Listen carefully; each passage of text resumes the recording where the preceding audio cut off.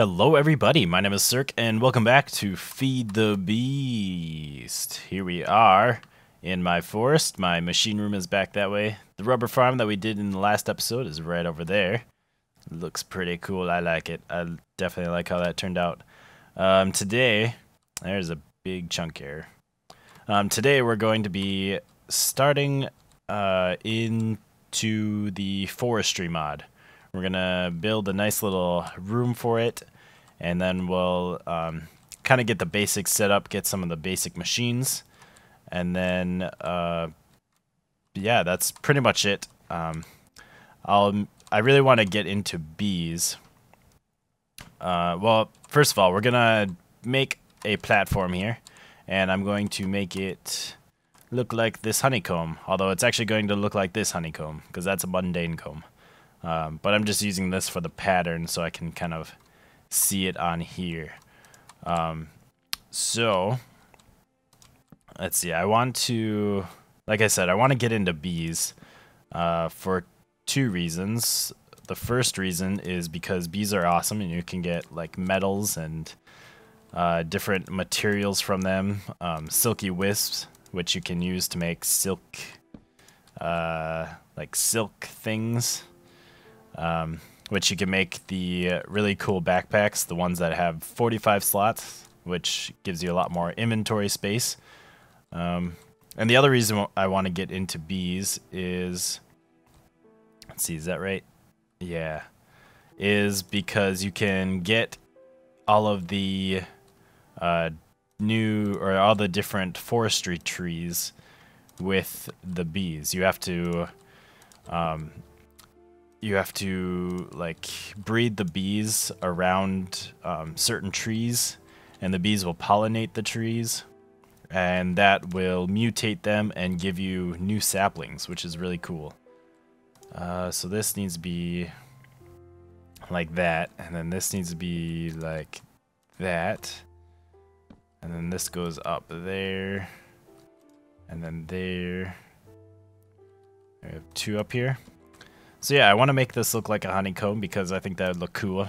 And actually, I've done this before, and it did look cool, and I liked it a lot. And so we're just going to copy it and do it again because I am unoriginal. No, that's not the reason. Um, actually, I'm kind of doing the same stuff a lot as I did um, in the last map when I, we first played Feed the Beast on the server. And part of the reason is because that time really felt short and I didn't really get to do as much stuff as I wanted to. And part of that, I mean, I could have gotten a lot more done than I did. Um, I did stop playing prematurely before we were actually, um, before the server, I quit playing quite a bit um, before the server actually reset. Uh, but even with that, you know, I kind of felt like our time there was cut short, and so I really view like our last time playing Feed the Beast as more of a kind of a practice round. Uh, that's where I just learned the basics about Feed the Beast and learned how to get set up and what kind of stuff I really want to uh, look into, what kind of stuff I want to explore.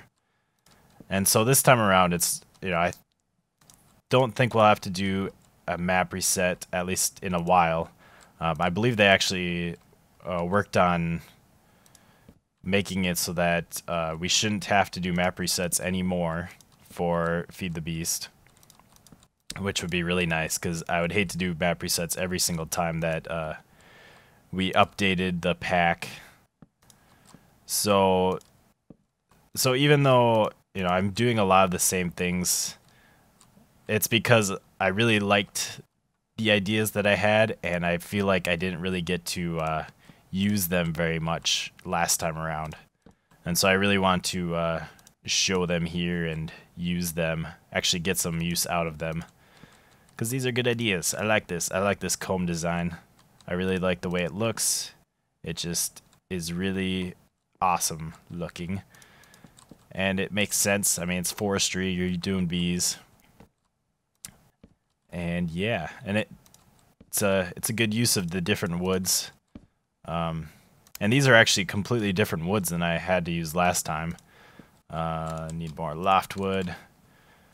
I don't think we had any of these woods before. We didn't have the sakura because these are. I think the sakura there is uh, um, natura, which we did not have last time, and the rest are biomes of plenty, which last time we had um, biomes XL or something like that. I don't know. It's a different biomes um, one. There's something different here, and it's this block. That one shouldn't be there. So now that should all be done. Does it look like it? I think it does. Very cool. Very cool. I like it. Uh, so now what we need to do is get some sort of walls on here, which I haven't decided. So I think I'm going to uh, cut the camera and figure that out so you're not uh, watching me sit here and decide for 30 minutes. Well, I think I got a nice little uh, design done here. Took longer than I wanted because of these stupid things. Uh, I got the brilliant idea to use amber blocks. That is what these are, which is um, you get this amber. There's there's ore in the ground, and you can combi you can combine um, four of them to make an amber block, just like this. And that's what these are. And then you can combine four of these amber blocks to make four amber bricks, which is what's on the bottom. And then you can just take these and you can turn the, both the blocks and the bricks back into amber. So that's kind of nice. I like not having to waste things. Um, but I quickly went through my supply of amber. I only had like three stacks, which, yeah, did not amount three or four stacks, which only amounted to a stack of blocks, and I needed a lot more than that to make this wall. Uh, but I really like it. I like um, the reason I chose this. I was just gonna put glass on the walls, uh, but I like. But this is still transparent, and it kind of reminds me of honey, which goes along with the uh, honeycomb design here. So I really like the way that looks, and then I just have a nice, simple, uh, flat glass roof. So it really, I think it looks nice from from above. In fact, even on the mini map, let's see if we can zoom in more. On the little mini map up in the corner, you can see the nice honeycomb design. I like that a lot. Um, and then I also made the floor um, a little bit thicker. There's one block of space in between, and that is because we're going to get some engines in here, and I want to run some piping in the floor. So let's go uh, over to my crafting area real quick, as fast as we can with our nano armor and haste 3. And then we'll uh, craft some peat-fired engines, which is the uh, start out um, forestry engine. So to make that, we're going to need some copper, we're going to need some sticks, uh, we're going to need a piston, so I think we'll have to make one. I don't think I have any pistons. Um, and I'll probably make a couple, or a few peat-fired engines. There we go. So we'll need some iron. And we'll need some glass. Do I have glass on me still? Nope. So we'll need the glass. And is that everything? I think so. So let's try this out.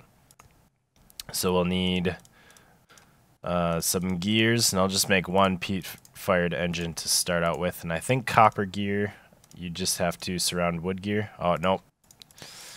Uh, you have to surround stone gear, that's right. You usually have to make a stone gear at least, and then you can surround it with the metals.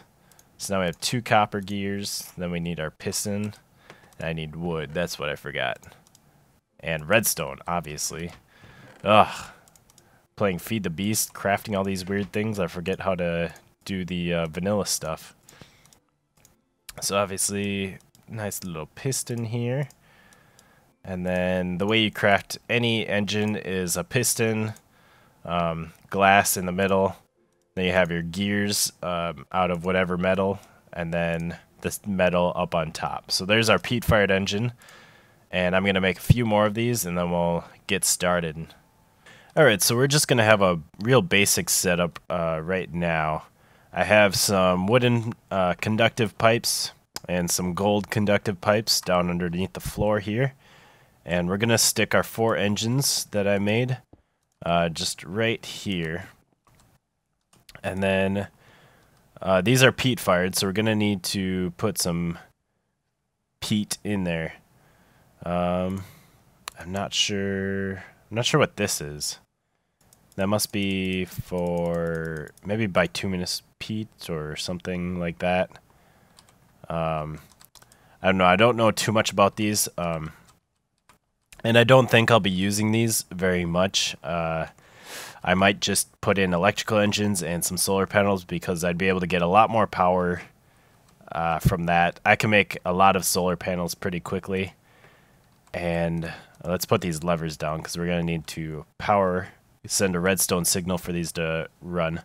Um, but anyways, I can easily stick or make um, like a medium voltage or yeah, medium voltage uh, solar panel array and power some electrical engines, which would power the forestry machines pretty well. Whereas these, they only put out um, one megajoule per tick for peat. And if you make some bituminous peat, which is a little bit more expensive or harder to make, um, let's check this out. Or let's just do, let's check out peat. So peat you get from stuff. Uh, we'll be making some peat, but uh, the bituminous peat you have to mix with ash and propolis, and propolis is from the bees. Ash, um, I forget where that's from. I think it's actually. I wonder. Actually, that might be what this is. I think this thing actually gives off ash uh, from the peat. But anyway, so it's it's really not all that efficient, and electrical electrical engine might work better. But I wanted to kind of try these out and uh, play with them. Um, so first, we're going to meet to get this peat. We're gonna need to make some bog earth, which I believe is like this. Um, let's see. Yep. So there we have some bog earth, and let's just make a bunch of that because we're going to need lots of fuel, at least eventually. So, uh, just craft all this. Looks like I'll have some leftover sand and dirt, which is fine. And then what we need to do is stick this bog earth by a water source. So I'm going to actually fill up some of these buckets again. And we'll uh, stick some water sources up over this way. I think right underneath um, the machine room. Because I have some nice chunk loaders there. And so I don't know how long this is going to take. I hope it doesn't take long. Um, but let's try it, I guess. Let's stick some bog earth there, see what happens. And I think it needs to be right next to it, but I'm not 100% sure. This is the first time I've ever played around with this stuff, so uh, I'll just keep doing this and uh, bring you in when something changes, I guess. So yeah, I looked it up just to make sure I knew what I was doing, and this is uh, kind of the basic setup. Um, you just place down bog earth around a water source, and uh, even diagonally will work. And so you just have a uh, three by three area like this, and you just have to wait for it to moisten, I guess. So we'll let that sit, and while that's uh, working on itself, I guess, um, we're gonna make some other forestry stuff like a carpenter. We're gonna need a carpenter to make uh, the beehives, the apiaries, or I think it's apiaries. Um, so yeah, we'll need to make one of these, which is sturdy casing made out of bronze, and then uh, some bronze there. So to make bronze, we need tin and copper. So uh, there's a bit of lag. It's been pretty bad today. I'm not sure why. I think it's actually been kind of bad lately. I'm not sure what's going on. Um, so how much bronze are we going to need? Because if we do that, that makes four bronze. And I might actually have some bronze. Come on. Uh, two ingots. I got some. So for the sturdy casing, we're going to need eight ingots, and then we're going to need six more. So I can just make oh, eight more, and that should be enough then. So we have our sturdy casing there, and then our bronze on the side, and there's our carpenter. And then um, another thing I need to make is a squeezer. Um, for bees, I'm going to need this to, so that's tin with a sturdy casing. So we'll need eight more bronze.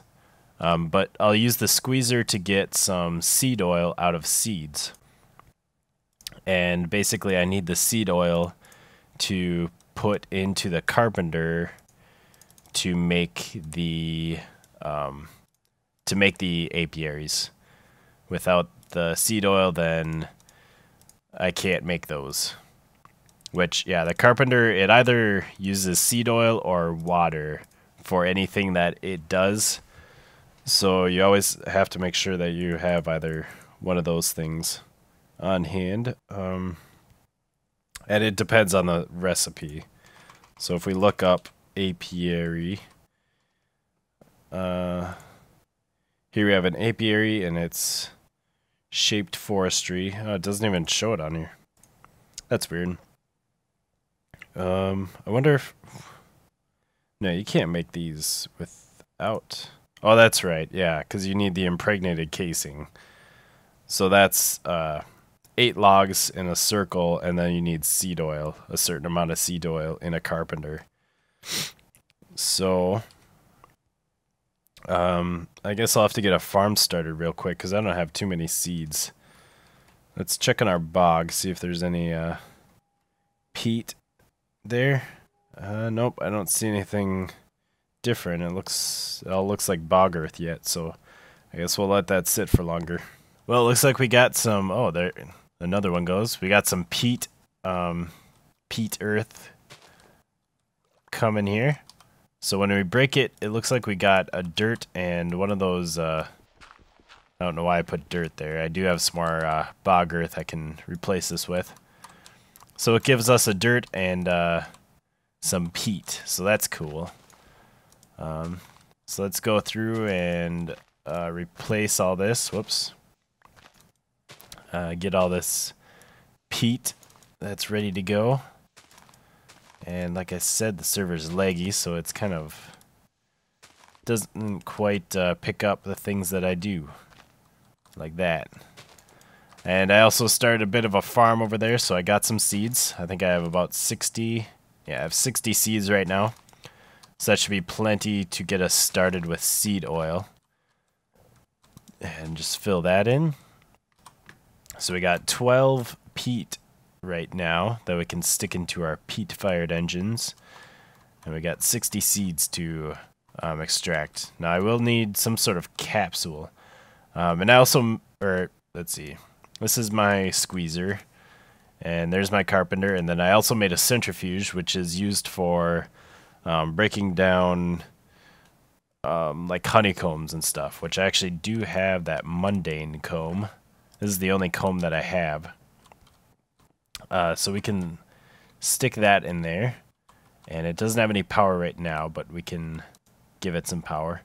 So we're going to have to create some sort of capsule. Um, let's see. So if we look up the uh, apiary again and this impregnated casing so we can make um, I know I can make those Let's see, that's seed oil. Seed oil can, seed oil barrel. Um, those we can't make. That's a wax capsule, which is what we eventually will make. Um, let's see, a can. So that's just three tin. We can do that. So let's go make some cans. Okay, so now we can go to our squeezer, stick our cans in there, and our seeds uh, in here. And I wonder if these will give us... I think they will. Might as well stick those in there. We got plenty of cotton and barley seeds. Uh, so now we just need some energy. So let's stick some peat in here. So we'll divide it up evenly. Um, put three in each. Come on. Three more in there. And I, I don't remember exactly how long this will fire. I think it's like a thousand ticks, which, um, how long would that be? I guess it depends on if it's a game tick or a redstone tick. It's probably a game tick, which I think is point is I think it's point one seconds. So that'd be what 10 100 seconds maybe unless I'm doing my math wrong, which is entirely possible. So here the squeezer is working and is it it's doing something. I think it's filling this up with seed oil. Although I don't see anything happening at the moment. Do we have to stick this somewhere else? No, I'm pretty sure that needs to go there. So I think it will fill this up with seed oil. And then once there's enough to fill up a can, it will make a can. Um, and then, oh, our centrifuge is already done. So we have a honey drop and some beeswax. So that is cool. And this beeswax is what we can use to make the wax capsules uh, once we actually get a good supply of that. Alright, well it took a lot of seeds. It took a lot more than the 60 that we had. I think it took around 100 seeds actually. I suppose since it fills up like 0.1. Um, yeah, so anyways, yeah, it only gives you like, actually it's probably a hundredth um, for each seed. And so it takes 100 seeds to actually fill up one of these cans. And we finally have that, so now we can stick this in here. And now we have some seed oil, and we can make an impregnated casing. So you do that by um, just right-clicking the pattern that you want in the carpenter, and then it will make impregnated casings. And it will make as many as it can with the resources they have down here and the seed oil they had over here. So we're going to make a few. And we can um, then make, let's see, we can turn that into planks. Because then we can use that and that. And there's our first apiary. So now we can start breeding bees and exploring some of that part of forestry. Um, I know there's a lot more to forestry than bees. Uh, well, for one, the trees, which we also want to explore, but that involves the bees. Uh, but there's also like auto farms. Like, you know, right now we're just kind of uh, using our hands to get all that peat and all the seeds. Um, but there's actually auto farms that you can make that will do that on its own.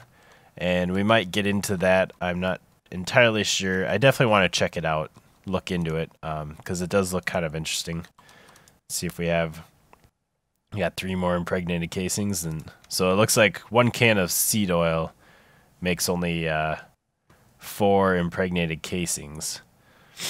Um, so we're gonna need a lot more seeds, and we're gonna need to uh, do something better. I think I did plant some melons over here, and I was using a lot of bone meal. Uh, maybe I, we'll have to get some sort of skelly farm going. Uh, we have a pumpkin and another melon grown. But yeah, maybe we'll have to get some sort of uh, skelly farm going, get, a, get us a bunch of um, bone meal so that we can make a nice uh, bone meal farm to get all these seeds that we need. So we can craft these into seeds and I can use those. But that's only nine seeds, so that's not even a tenth of a can. So yeah, we're definitely going to need a lot more seeds. Um, but anyways, I think that's where we will end off on this episode. And there's a nice little wisp behind us. Stay away. Um, let's go just head towards that. I hope you guys like my little building for the forestry.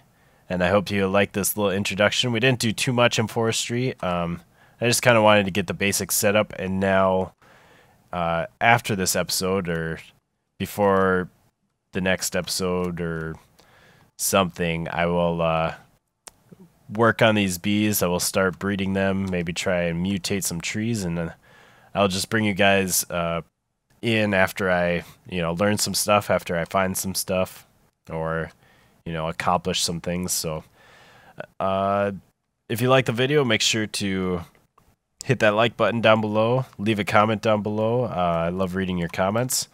And uh, until next time, goodbye, peoples.